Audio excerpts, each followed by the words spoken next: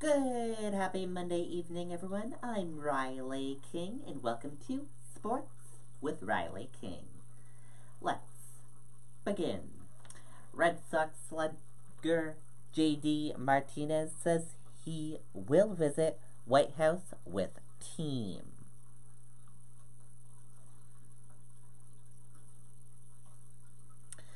Boston Red Sox designated hitter and outfielder JD Martinez has made his decision about the team's upcoming visit to the White House. Speaking Sunday from spring training at JetBlue Park in Fort Myers, Florida, Martinez had his turn to face the questions. He said, I'm going.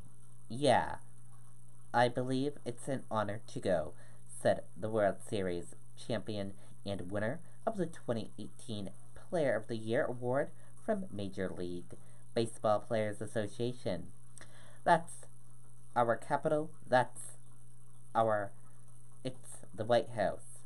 Not a lot of people ever get to go there, so I'm really excited about it.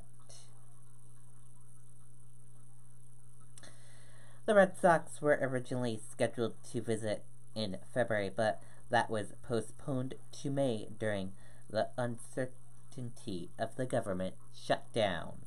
Red Sox manager Alex Cora, a Puerto Rico native who has been outspoken about its need for hurricane relief, indicated previously that he may skip the World Series celebration at the White House over Trump's policies toward the island.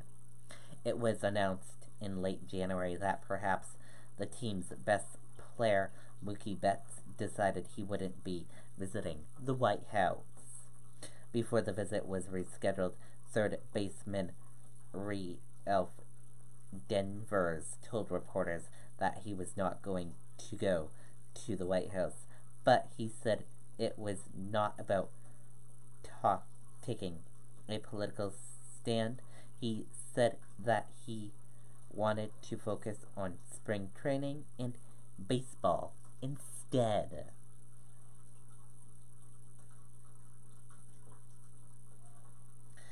Colin Kaepernick, a Patriot, quarterback's attorney makes bold prediction.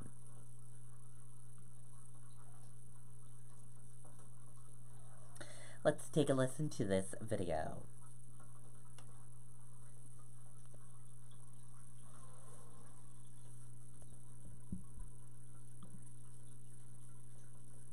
I'm going to make a bold prediction that um, one of three teams picks him up. I think you're going to see.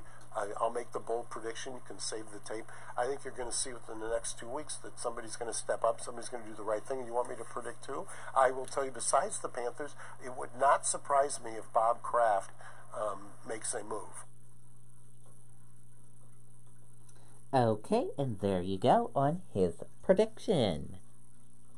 We'll have to see if that prediction will come true or not.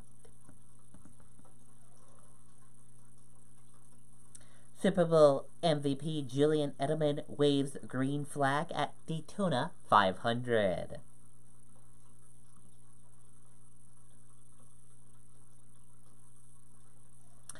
Super Bowl MVP Julian Edelman could feel the buzz at the Daytona 500. Edelman sporting neatly trimmed facial hair, served as honorary starter, and waved the green flag for Sunday's race. The New England Patriots star receiver called NASCAR drivers absolutely insane.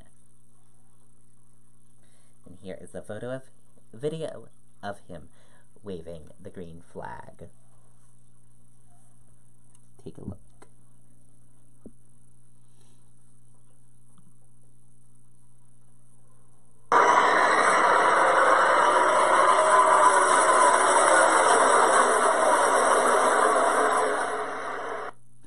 very awesome there. Here's another video.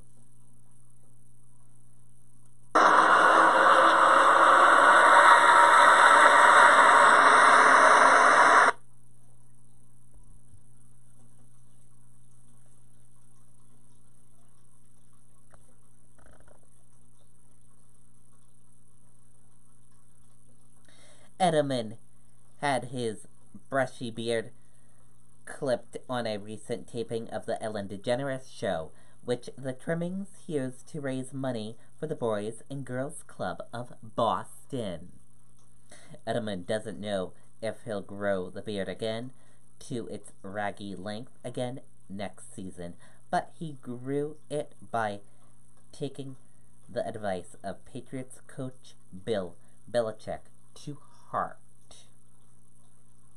Edelman earned Super Bowl MVP honor after catching 10 passes for 141 yards while helping lift the Patriots to a 13 3 victory over the Los Angeles Rams.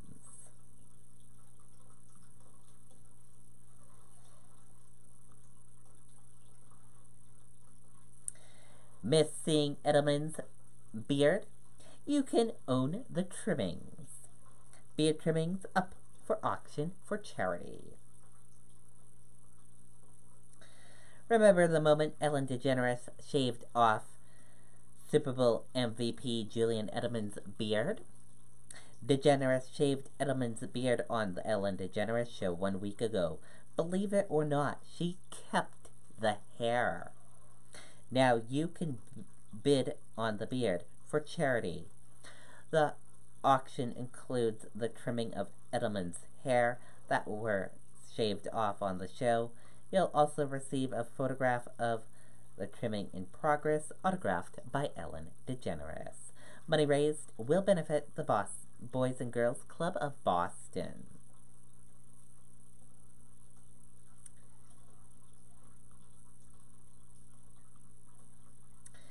And the Bruins play tonight at 10 p.m. Eastern Time against San Jose Sharks.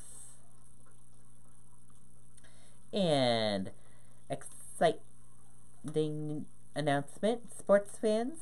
There are two WMUR TV folks running in the Boston Marathon this year and raising money for Special Olympics. WMUR News Director Alicia McDonald and Jamie Stayston are half away eight weeks through the training program. Below is their fundraising page.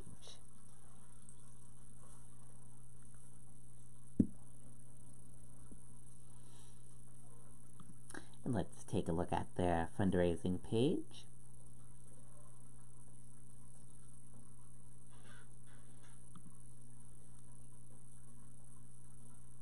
Here is their goal. Jamie Stayston is the sports director and weekday sports anchor at WMUR TV. He joined Channel 9 in 1998. Catch all the, of his highlights and feature sports stories weekdays at 5, 6, 10, and 11. Jamie is an avid, avid, avid runner and has ran five Boston sports marathons, raising over 48,000 for Special Olympics New Hampshire. You'll see him at many New Hampshire races through the year. And Alicia McDevitt is the news director at WMUR and began working at WMUR in 1995. Her success in her career have placed her front and center at the station. This will be her first Boston Marathon, and we are grateful for her choosing support Special Olympics. And I encourage all of my viewers here at the Riley King Network donate to Jamie Stayston and Alicia McDevitt um, to help benefit the Special Olympics and cheer them on in the Boston Marathon as well.